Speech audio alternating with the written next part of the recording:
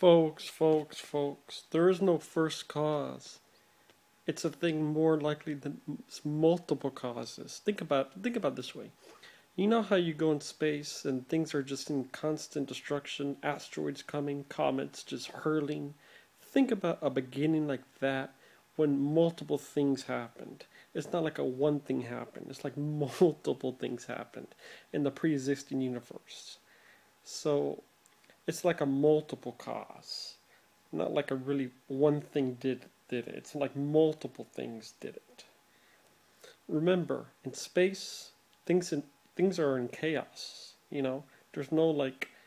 It's impossible for God to be there be, because things are just in chaos. You know, it's possible to be God there be just like pushing a button. Oh, make this astral hero, make X astral. When it just doesn't make any sense for even a God to exist. It's just that things are in constant motion. Thing you, you're in space, you, you know, you're you could get struck by an asteroid or comet. It'll happen. I mean, it could happen. You know, there's been deaths of people, you know, got killed by the comet, just hurled to Earth, boom, just killed the person. It's just like in random constances. So when it all started in the beginning, it's not like one thing caused something. It's like multiple things caused something. It's an expansion. The Big Bang is not an explosion. It's an expansion. If it was an explosion, all the cells and molecules would be dead. You know, we we wouldn't even exist. It's an expansion. Expansion of gases and elements, because in a whole body's elements, hydrogen, hydrogen and helium and oxygen, all the stuff. If it wasn't for the stars to explode, we have elements in our body we wouldn't be exist in a way. So it's actually multiple causes: the Big Bang, but also the stars.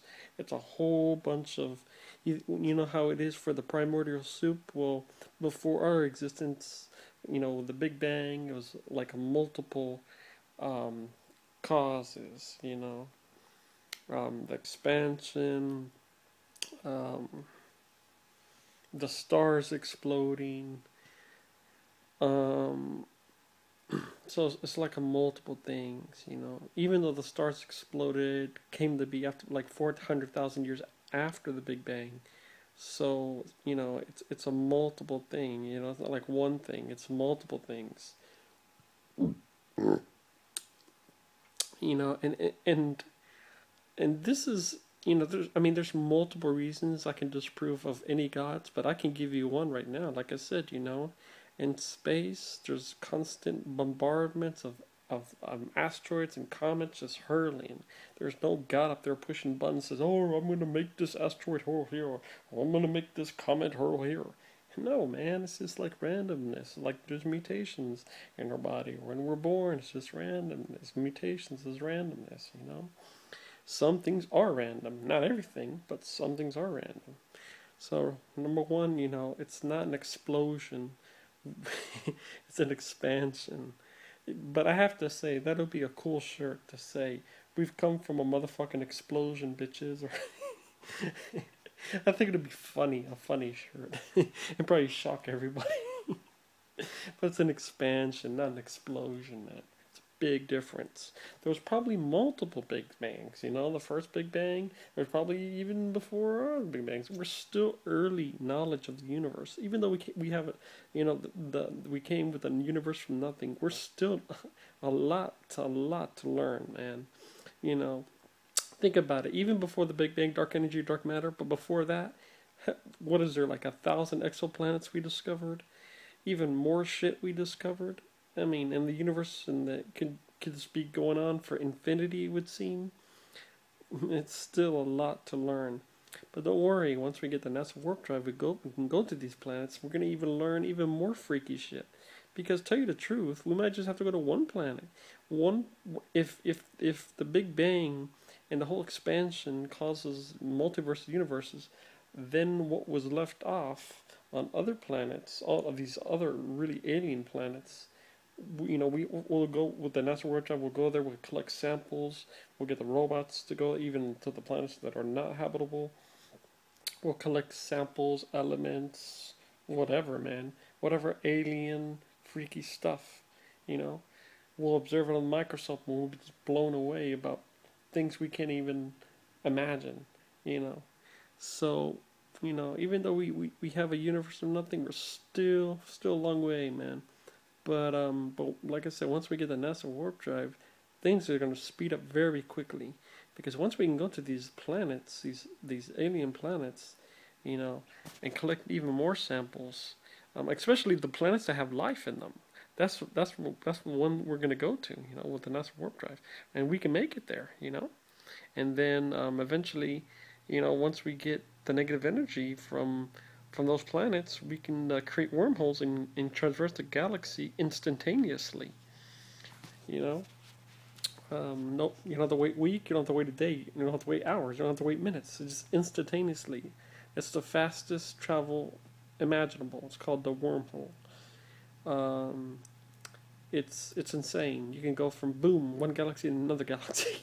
you can go across the universe. I mean, you can color the whole universe and probably I don't know days. Um, I mean, in minutes. But if you want to maybe color the whole, but the, but I couldn't give you a number because the universe is more, just so huge. But but you could probably at least maybe you can cover half of the whole in a day because that's how fast the wormholes we can just instantaneously boom boom boom and with wormhole equals time travel this means you can actually you can go back in time you can go forward in time. You can go to the present you can go to the future. And all we need is a, a massive amount of negative energy so our, so the, the crafts can go through. Because um, the only problem is the wormhole is too small. But if we have negative energy we can blow it up and our crafts can go through. I know it sounds science fiction but this is science reality folks. This is how far we've come you know. To to the impossible is becoming possible. Also, you know, the science says we just need an amount, amount a massive amount of negative energy. So, um, hell yeah, we could go back in time. Insane. Just imagine, um, they had a, a picture like if Manhattan. So, like if you, if you lived in Manhattan, right? and this, and the, and then the wormhole opened a bubble, and there was a Sahara Desert. You walk through it, and you're in the Sahara Desert. That's how crazy it is it's instantaneously travel, man. It's it's insane. You can go from popping in a one galaxy, one universe to another universe. So I'm saying, like I'm saying, man, this science fiction has come science reality. It's like I said, once we get the NASA warp drive complete, that's just a start from huge things to come. You know, we couldn't do this with rocket ships. That's why you know, NASA, you know, said we had to take it to the next next next level and get that NASA warp drive. You know, like I said, the only reason we haven't found life because of no water. But that being said, there was life in Mars, and it was in a meteorite. It was in a meteorite, as you can see in the meteorite in the pictures. There was a there was an organism there, because that means there was life at one time on Mars. And who knows what kind of organisms? We can't tell because it's, it's it's embedded in the meteorite. So just imagine that organism there, and imagine if we go to these exoplanets that resemble Earth. Imagine what we're gonna find, man. It's going to be insane. So, so what to learn from this? You know, it's not like a first cause. It's like a multiple cause. Multiple things happened. Um, so, and, th- and that I think that'll make it easier for people to say a beginning because it's truly not a be- no beginning. It's just multiple things going out. Okay, so that's that's how it started, man. You know. And then if extraterrestrials had any kind of influence, some scientists said the DNA is um, extraterrestrial that generated the code. Maybe that could be the only extraterrestrial they had on us.